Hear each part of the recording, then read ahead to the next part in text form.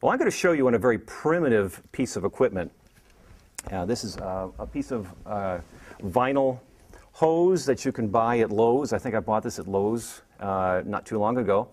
And uh, it's vinyl tubing. It's, for those of you who might be interested, it's 3 8 inch in inside diameter. But basically, when you take a mouthpiece and you put it in a length of tubing, it'll resonate on certain notes, and I'll show you how that works. Here's a mouthpiece alone.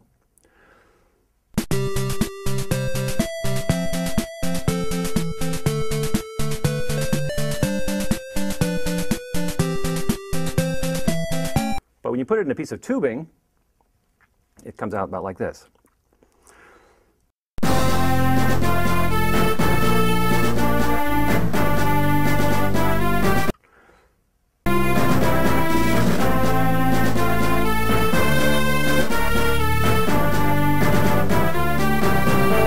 And then what uh, this is, this is just a plastic funnel, but this is just like the bell on the brass instrument. And what this is, is like a megaphone. It actually takes that same sound and makes it louder.